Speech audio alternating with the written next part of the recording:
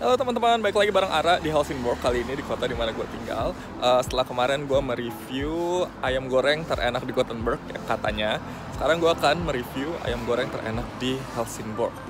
Karena cuma ada satu yang jual dan juga ini kalau orang-orang teman-teman dari uh, kota Lund main ke sini, kita biasanya makan bareng di sini.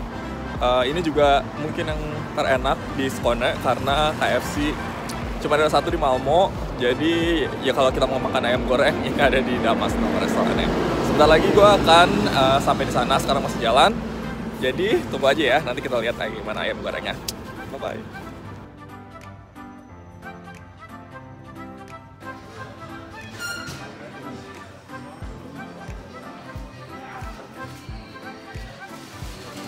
Oke, jadi gue baru aja order si ayam gorengnya. Itu isi 10 plus uh, udah dapet kentang goreng harganya sekitar 139 krona. Tinggal dikali aja sama 1500 jadi hampir 200 ribuan untuk makan ayam goreng di sini. Tapi ya udah lumayan uh, buat kan uh, ngilangin rasa kangen.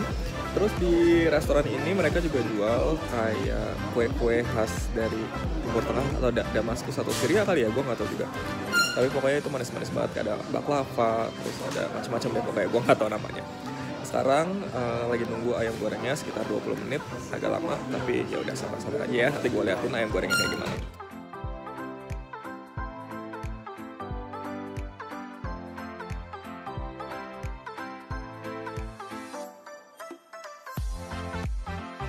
Halo, nah ini setelah tadi 20 uh, menit menunggu dan balik ke rumah Ini gue sekarang lagi sama Sony, sama Ines. Ini geng Indonesia yang ada di uh, Helsingborg. Sebenarnya ada Adam sama Ega cuman mereka lagi nggak bisa datang dan ini ayam goreng kita.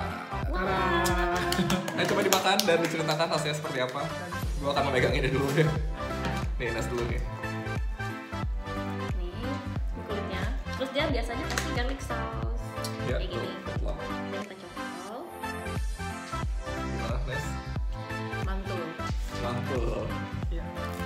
Coba ya. tahun pertama Hmm. Jadi dia nih kalau menurutku sih kayak KFC gitu, cuma dia ada rasa-rasa kayak Timur Tengahnya gitu ya. Iya kayak ada rempah-rempahnya Iya, ya, apa gitu ya rempah-rempahnya.